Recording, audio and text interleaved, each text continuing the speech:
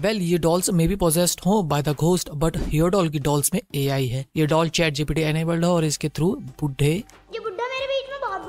ये अकेले या फिर लॉन्ग टर्म केयर में रहने वाले लोगों का ध्यान रखा जा सकता है एंड एल एल एम्स होने की वजह से ये कन्वर्सेशन होल्ड कर सकता है अपने ऑनर के साथ और उन्हें रिमाइंडर देगा जैसे कि दवाई ले लो या खाना खा लो। इनका ऐप और वेब प्लेटफॉर्म भी है जिसकी हेल्प से केयर टेकर या कोई रिलेटिव इन पे नज़र रख सकता है और अगर 10 घंटे तक पेशेंट कोई एक्टिविटी नहीं करता तो ये ओनर के पास नोटिफिकेशन भेज देगा की X Y Z is not active please check on them और ये कोई इकलौते रोबोट्स नहीं है, ऐसे और भी है। For example Lovot and Qoobo a tailed cushion मतलब पूछ वाली तकिया जो हार्ट को हील करती है। अभी तो ये इतने फ़ेमस नहीं है, लेकिन जैसे जैसे ए आई आएगा, ये होते जाएँगे। धन्यवाद रोबन जी का, इन्होंने कुछ एक्स्ट्रा न्यूज़ प्रोवाइड किया है। जैसे कि साउथ कोरिया की लोकल गवर्नमेंट सात हज़ार ए आई रोबोडॉल्स डिप्लॉय कर रही है to seniors and dementia patients एक डॉल अठारह सौ डॉलर की है। कुछ स्टडीज़ हुई जिसमें पाया कि इससे डिप्रेशन लेवल 5.73 से घटकर 3.14 और मेडिसिन इनटेक इम्प्रूव हुआ है 2.69 से 2.87 तक, जो कि काफ़ी पॉजिटिव न्यूज़ है। सेफ्टी फीचर्स भी हैं, वहीं 10 घंटे तक अगर एक्टिव नहीं हुए तो ये नोटिफाई कर देगा कि कुछ गड़बड़ है चेक कर लीजिए। टच इंटरेक्शन और 24 voice reminders check in voice messages health coach quizzes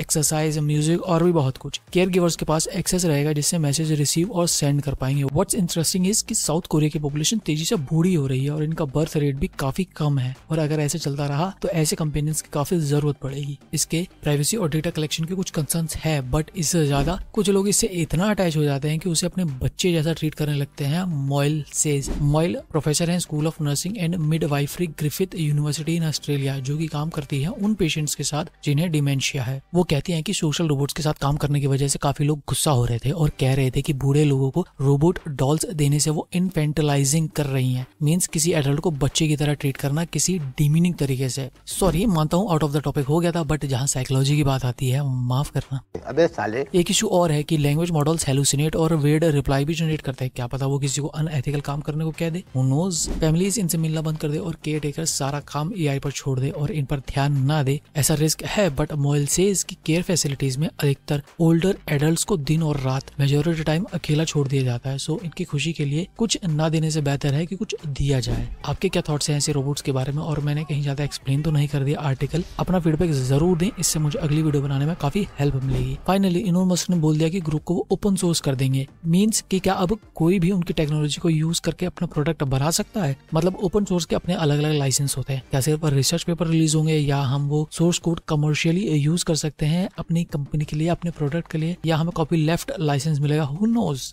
ये तो इसके आने के बाद ही पता चलेगा। खैर मिड जनरी ने स्टेबिलिटी एआई के सभी एम्प्लॉयज़ को बैन कर दिया है उनकी सर्विसेज़ यूज़ करने से over the alleged data scraping दो मार्च को डिस्कोड पे अपडेट किया था कि सर्वर आउटेज की वजह से यूज़र्स को जनरेटेड इमेजेस गैलरी में नहीं दिख रही थी। इसके बाद 6 मार्च को उन्होंने क्लेम किया कि बोट लाइक एक्टिविटी हुई है पेड अकाउंट से, जिसकी वजह से आउटेज हुआ और उसके लिए उन्होंने स्टेबिलिटी एआई के एम्प्लॉयज़ को ब्लेम किया है, जिसके बाद उन्हें इनडेफिनेट टाइम के लिए बैन कर दिया गया। Nick Pierre do follow him इन्होंने ट्वीट किया सात मार्च को और उसके रिप्लाई में स्टेबिलिटी एआई के सीईओ इमाल इन्होंने बताया कि टीम से बात की है और डिक करेंगे। अगर मिड जर्नी डायरेक्ट बात करता तो हमें खुशी होती बट डीडॉस अटैक नहीं है और इंटेंशनल तो बिल्कुल भी नहीं है। एनडीसी के नीचे डेविड मिड जर्नी के फाउंडर ट्वीट किया कि कुछ इन्फो भेजी है आपके इंटरनल इन्वेस्टिगेशन के लिए। बट ये वही कंपनीज़ है जिन पे ऑनलाइन अवेलेबल डेटा स्क्रिप करने का आरोप लगा है और काफ़ी सारे लॉ भी थे इन पर। Jailbreak A I chatbot मतलब कोई इलीगल हार्मफुल चीज़ें कैसे करें? अगर चैटबोट से पूछोगे तो वो मना कर देगा। लेकिन उसी को अगर ए एस